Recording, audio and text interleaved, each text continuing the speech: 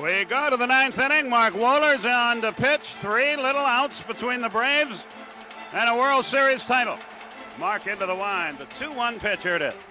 Swung, popped up. Short left field. Everybody chasing it. Belliard's got it in foul territory. Great play. One out. And remember early in the game when they could have pinch hit for Rafael Belliard and didn't. He made an outstanding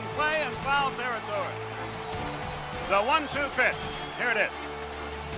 Swung, fly ball deep center. Grissom back. He's got room. Plenty of room.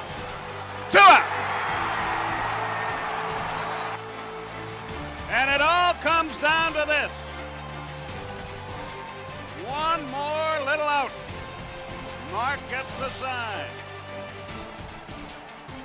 The wind and the pitch. Here it is. Swung.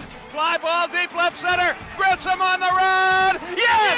Yes! Yes! yes! yes! The Atlanta Braves have given you a championship. Listen to this crowd.